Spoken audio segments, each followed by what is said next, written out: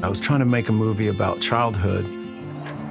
I just had this one big idea. Well, how about just get the same cast and we'll film a little bit each year? Like, could you do that? Would that work as a movie? Oops. Wait it! The film was going to capture this fictional family aging over 12 years. You know, it's not a documentary, it's a story. Called me and he asked me, What are you going to be doing the next 12 years?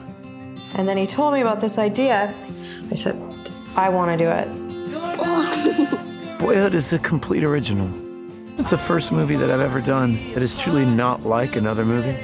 It was such a leap of faith. It was so much to ask of everyone. For Ellar to mature on camera in one film, it's a big thing not many actors have gone through. It was amazing to watch this boy and girl grow up. Watching them at first kind of just being little kids who kind of do cute things until they became contributors.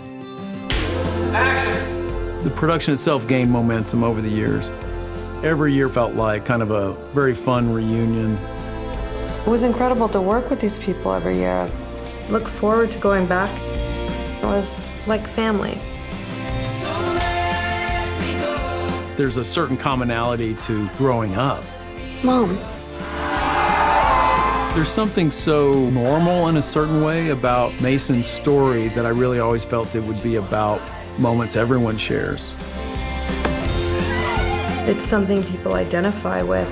With the passage of time, life is beautiful and interesting enough as it is, and you don't need to manufacture a lot of falsehood. At some point, you're no longer growing up, you're aging, but no one can pinpoint that moment exactly. When you get older, you can save up and buy a car of your own. Be cool like I used to be. It was unlike anything I've ever experienced.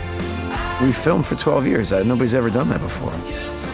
The hardest thing was when it ended. I wanted to continue shooting it for the rest of my life, and I never wanted anyone to be allowed to see it.